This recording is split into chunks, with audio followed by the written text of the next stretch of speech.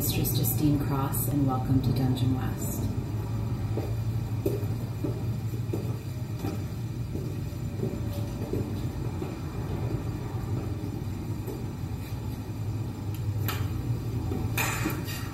Let me give you a little tour of my space and how much fun it is. So this is my bondage bed cage.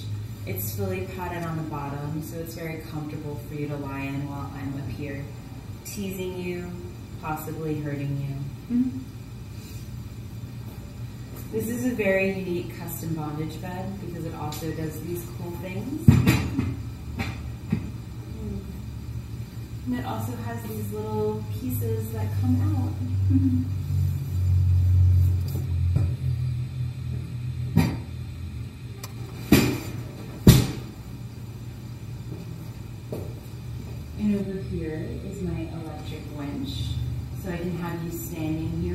also put a sex swing over here and raise you all the way up to the ceiling if I want.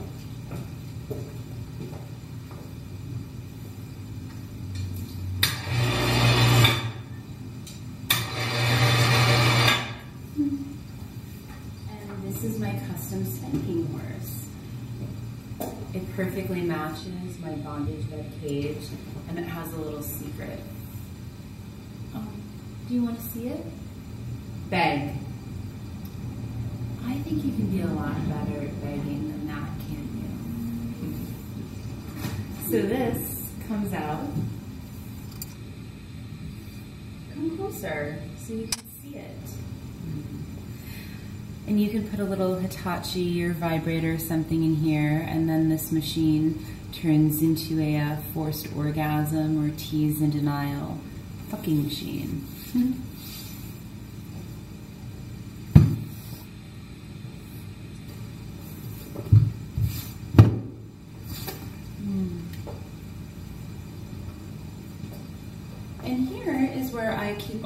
shoes and boots.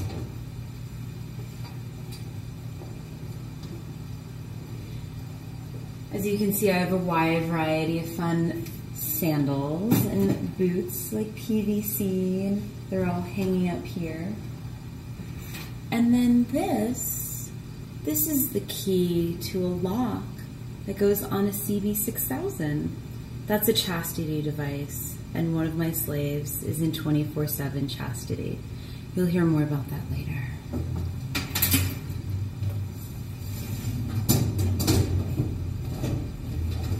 Hmm. And here's my other wardrobe closet devoted to all my latex and lingerie and leather. That's right, I have two full closets here dedicated to my fetish clothing. Hmm.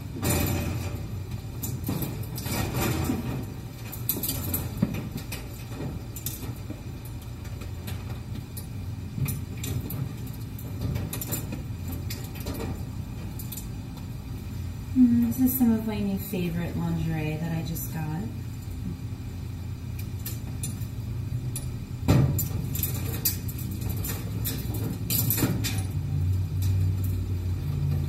Here's some custom latex by Jane Doe in Los Angeles.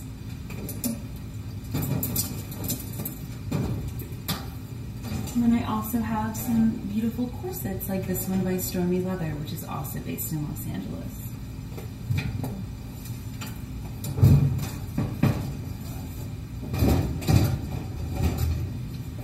I love dressing up for my clients. There's so many different fetishes. Some people just like gloves, just like stockings, lingerie, latex, leather, and I find that very important. Although some people just want me to wear yoga pants, and that's also great. my St. Andrew's cross, and I had one of my woodworking slaves customize the base for me with my logo for Dungeon West.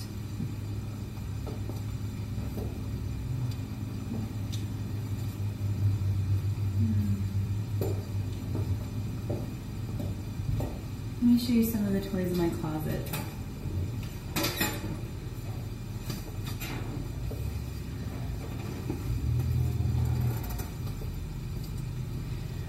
So I had uh, someone come into my dungeon for the first time a couple weeks ago, and they had never been into any kind of dungeon whatsoever. And I was like, "Oh, here are all my toys," and they're like, wow, I really love your labels. I'm more turned on by the labels than anything else.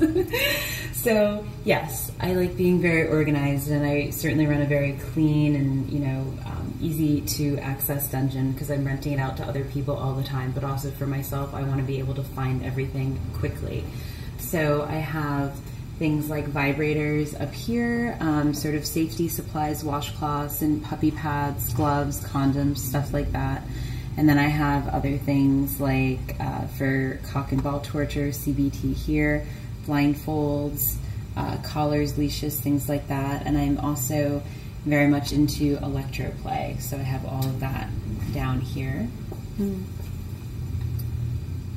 And in addition, I have plenty of rope and leather restraints all in here.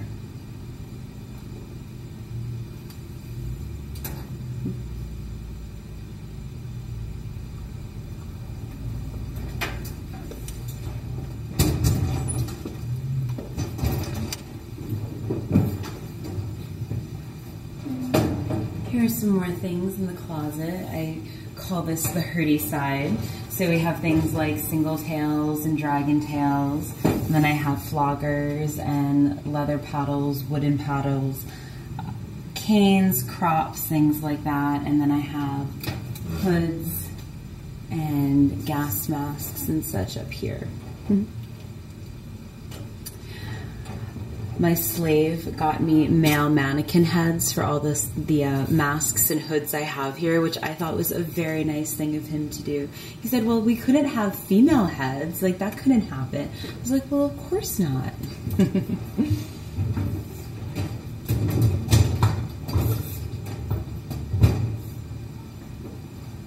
And then perhaps not as interesting to you, but certainly of interest to me and all the people who use my space, is all of my cleaning supplies here. Part of the reason that I opened my own dungeon was because of how clean a space I wanted to use and play. And I've had people come in here. I remember one time a client came in and he, he took a break and he went to the bathroom and he came out and he was like, you know, like, this place is just really clean. I'm like, yeah, I know. Like, that's what I want it to be like. I have my slave come in here every week and he steam cleans the carpets, the curtains, the couches, everything. Everything is mopped, sanitized. It is a really fucking clean dungeon because it has to be clean if you want to have dirty fun. As a dominatrix, one of the things that people always wants to know, well, what does your family think and like, do your parents know? And the answer is yes, my parents do know. Um, not like everyone in my family because that would be strange. Um, and they certainly don't know about like certain things that I do in my job because it wouldn't be appropriate to tell them. Um, but yeah, my father totally knows what I do. Actually, when I first got this dungeon and I moved into this space, he said, oh, well, can I come out and visit? And I said, well, yeah, but I need you to help me office and make me blueberry pancakes every morning. And he said, okay, I'll come out. So I get a kick out of telling people that, yes, my father has been to my dungeon and he helped build an office in here. Um, so that's nice. It's like nice being able to not keep that a secret from my parents and be able to tell them the normal adult like things I can talk about in my job. Like I can tell them that, well, hey, like I was just in Los Angeles Magazine and you know they're happy for me and they're certainly loving the fact that I can come and visit them and I'm doing well. Do I have any rivals? Well, I guess I have a few people who think they're in competition with me. Another question that I get asked all the time is if I have sex with my clients. And the answer is no, I don't have sex with my clients. But the other answer is what sex? Um, you know, a lot of my friends, even though that they all know what I do and I'm very open about it, some of them still think that I have sex with my clients or I give them blowjobs or handjobs, and that's just not true. But at the same time, I stop and wonder, well, I'm, you know, someone's naked in a room and something sexual is happening, and even if that sexual practice isn't penis vagina sex, if I'm have if I have someone bent over and I'm caning them until he comes, like isn't that sex? Um, but in terms of for what I do, it's all BDSM. A typical day for me. Well, There are no typical days. Um, generally speaking, when I'm in Los Angeles, you know, I get up, I hit my snooze a million times, I let my cat out onto the balcony, I eat breakfast, I check my emails, I usually go to the gym, things like that. Depending on if I have a session, I'll be getting prepared for that. Some days I'm shooting in my dungeon, sometimes I'm doing interviews or other media type things, and sometimes I'm traveling. Um, leave Los Angeles about once a month, and when I go out of town, I tend to be booked solid the entire time I'm in that city. I frequent Dallas and Houston, New Orleans, New York, so I'll work for a few days and then I'll go out with my friends. And yes, I do have a social life, so I'm going out to non-BDSM, non-kink things a couple of times a week with my friends. What am I like if you were to meet me out on the street? Um, probably pretty much like a normal hot girl in Los Angeles. Um, you know, I tend to say that when you meet me as a Dom, I tend to be very nice, and when you meet me in real life, I tend to be a real bitch. So, you know, do I do things like go grocery shopping? Uh, not really. I tend to make my slave do those things because I'd much rather be doing anything else. Um, do I clean my house? Uh, sometimes once in a while, but most of the time I make my slave do it because, as he likes to say, being able to do that for you gives me brings me such joy so you can go out and have fun with your friends. So I really like being able to go to a pool party and say, oh, clean this, clean that, do that, check, check, check. And he's like, oh, thank you, mistress. Um, so that's very fun for me. Um, what happens if someone screws up my order or doesn't do something right? Well, you know, I don't, I don't find value in being a bitch to someone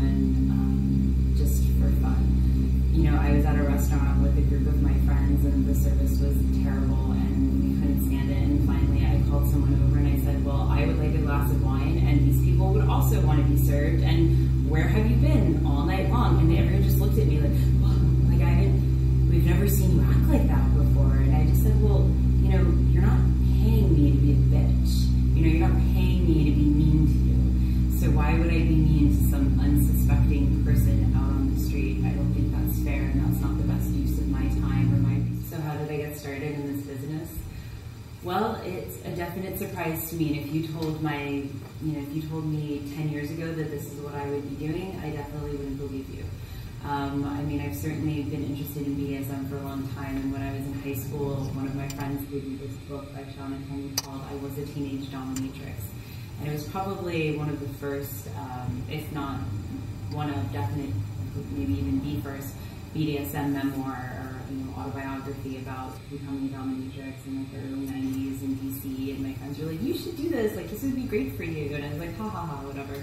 And then like a few years later, I called you know my friends up and said, oh, that's actually what I'm doing now. So um, but you know, I moved to Southern California after college, and I have degrees in literature and psychology, and a background in education, and I worked in inner city schools, and definitely thought that that's what I was going to do. I worked in you know corporate America for a few years. Uh, the Southern California economy kept tanking, and I kept getting laid off, and finally I said, you know what, I'm just I'm just going to do this for a year. I'm just going to stop, take a minute, figure out what I want to do, and just start doing this full time. I had always been doing it part time, working out of commercial houses here in LA. And then my career started to take off doing this full time. I certainly make a lot more money now than I did before. I mean, before I was working, I wouldn't get bonuses or raises, even though I was working my ass off at all these jobs and definitely doing a really good job for the company. Um, so now I work for myself and that ends up being much better. I only eat what I kill and that's working out a lot better for me. Um, would I recommend doing this if you're interested? No. you know, people look at me and say, oh, well, like everything is so together for you and, you know, but it's, I didn't roll out of bed and into a, like a pair of Louboutins and into this empire that I've created for myself. I always love to say that I work very hard to make money this easy. I do see new clients, but most of the people that I see are people that I've been seeing for years. I see them many times depending on their schedules. Sometimes I can see them once a week, sometimes it's once a month. Sometimes it might just be a couple times a year, and whether it's in Los Angeles or many of the places that I travel to, you know, those are the people that I enjoy seeing the most because I can, we can grow, we can have a continued relationship. Um, one of the clients that I see who's my regular slave, Slave Jack, I've done a lot of things with him because he's been in the position to be able to do that. He's, you know, under my advanced tutelage, he's lost a lot of weight. I've helped him improve his business. I've come over to his house and like thrown out all of his ugly fat clothes, made him go shopping to get new things. Um, and these are the kind of clients that I enjoy seeing. Like even when I go down in the south, uh, a lot of my clients very much enjoy southern fried food. Um, they are also, you know, on a long distance training program with me to lose weight. Um, I want people to take care of themselves and stay around for a long time. One of my clients that I saw recently who's, you know, unfortunately very overweight, I told him, well, for every, you know, take a picture of yourself on the scale, and for every pound that you lose, I will knock one dollar off of that session fee the next time I see you. But if you gain any weight, for every pound that you gain, it's going to be one more dollar Uh, what happens if my sink is stopped up? Get a slave to do it. Um, well, sometimes I can't get a slave to do it. So I remember one time I thought I saw a rodent up in my, my rafters here, and so I called maintenance, and they came over, and I, you know, covered everything, and they were just in the front room of my dungeon, which has all these beautiful photographs of me and other ladies who use my studio. And you know, one guy is crawling up on the ladder to like look for stuff, and this other guy is smoking a cigarette, and the guy up on the ladder is like mew mew mew mew mew. I guess he was like trying to be a cat to call the rat out. I don't know. And then the other guy's like down there smoking. He's like, "Is this you? You're so beautiful. This is so nice." this is you? This is you too? Oh. I'm like, okay. So the way that I operate my dungeon is it is a rental only facility, which means that I have other DOMs as well as other lifestyle people and productions coming in to use my space. I don't book sessions for people, I don't take calls for people, people don't sit here on a staff. That does not happen here. Um, it's all on your own, you're completely independent. So that being said, I have a lovely group of ladies who come and use my space, and sometimes we do hang out and go have girl time, and you know, go get Korean spa, or like you know, go have like hot tub pool parties and stuff like that, or just go out for drinks. This is Slave Jack. This is my one of my most loyal slaves. He's the person who does all the cleaning for me at my dungeons, takes care of things when I'm out of town. So I figured he would be the best person to ask a few specific questions. The first being, what happens when you fuck up, Jack? Why don't you tell everyone about the most intense session you ever had with me when you fucked up? And be sure to tell them what happened and what it was that you did when you fucked up. Yes, mistress. Um, well, I'm kept in chastity by you 24 7, which means that I can only um, masturbate or touch myself in your presence when you give me permission. And I had to be out of chastity one time for a doctor's appointment. And um, after the appointment uh, that night at home, um, I masturbated. And then we had a session a couple days after that. And you asked me, and I, and I always tell you the truth. Um, and you asked me if I had masturbated, and I said yes. And you acted as if everything was fine, and we started our session, and I got to, to touch myself and come early in the session. And I thought, wow, this is really great, everything's fine. And then you ordered me to lay on the bed and um, tied me down and mercilessly uh, beat me and caned me, um, literally until I was crying. and that was the most intense pain I've ever experienced because, as any guy can tell you, um, after you come, the pain changes significantly. It's significantly worse. And the uh, most amazing part of it was um, it felt like real punishment, and you were laughing the whole time. I was, wasn't I? Hmm. Why don't you tell them about what you enjoy about serving me? I'd love to do anything I can to make your life um, easier, um, more fun for you, uh, more pleasant for you. I love taking care of the dungeon. Um, I love taking care of your house and running errands for you. Um, basically, um, anything I can do to make your life happier and easier and more pleasant is a real privilege for me. Now, Jack, you've known me for a long time and you've seen what I'm like in dungeon settings as well as not in dungeon settings. Why don't you tell people about what I'm like not in dungeon settings? Um, you're, a, you're a really great person. Um, you really are. Um, you have extremely high standards Um, most people might say you were high maintenance. However, I see that as a good thing because um, your standards are so high. And even outside of the dungeon, um, well, I mean, in the dungeon as well, you have high standards. But that just that overall attitude um, and belief that you want to be the best that you possibly can be carries over outside of the dungeon as well as inside. Good. Anything else you want to say about me, Jack? I've never been happier since I've been your slave. And how long have you been my slave? A little over three years. Oh, good job. How much weight have you lost? I've lost about 90 pounds. How much more money have I made you? A lot. How much have I taken? A lot. And you couldn't be what? Happier. Good boy.